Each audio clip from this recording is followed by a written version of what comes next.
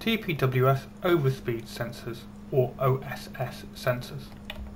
Here we have a locomotive, several automatic signals, and right at the end we have a signal protecting some carriages in a platform. We've got a speed limit in the platform of 15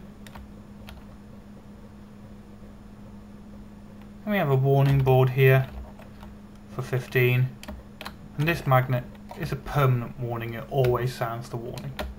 So we're going to place some overspeed sensors just after the signal which will trigger and bring the train to a stand if they are approaching the red signal too fast. You have two types of overspeed sensor, the normal grids and the mini grids. So let's place the normal grid and let's place second grid. They must be done in pairs. Basically it is an arming and a trigger loop. So a timer is started on this. Um, in, in the real world a timer is started by the arming loop and if you get to the trigger loop before the timer gets to zero then you're deemed going too fast and your train is brought to a stand. So you need the same thing in Train Simulator and it's this second um, grid that will trigger the train to be stopped.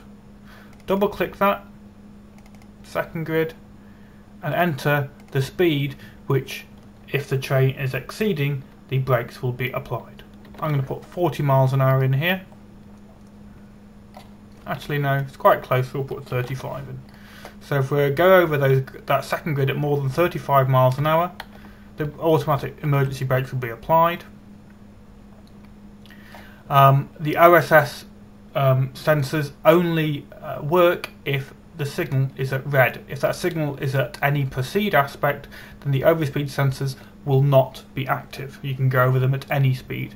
So over OSS sensors or overspeed sensors only work when the signal is at red. Okay, let's give this scenario a go. So here we are. I'm going to select the locomotive and we're going to get some speed up as quickly as we can. Remember, our second grid is set to 35 miles an hour, so anything over 35 miles an hour will set the um, emergency brakes to on. So I'm going to drive at 40. Here we've got coming up our permanent magnet for the 15.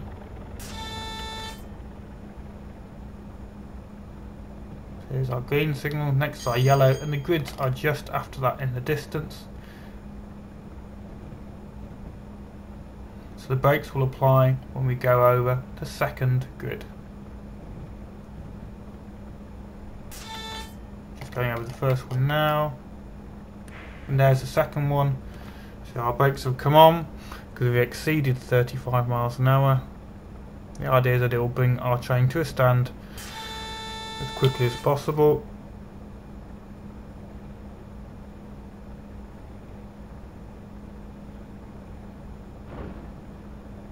But as you can see, despite that, we still had a bit of an incident.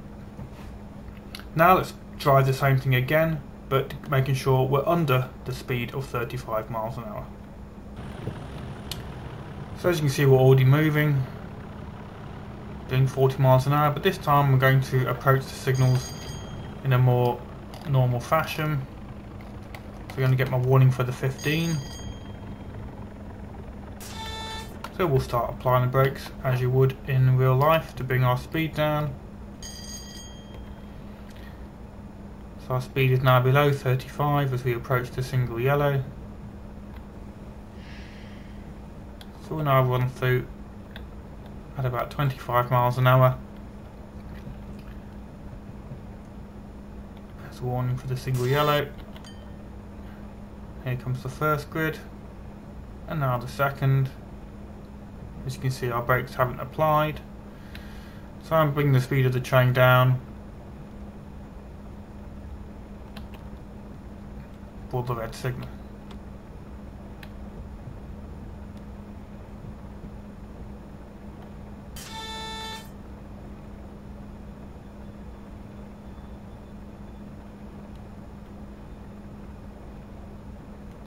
There we go.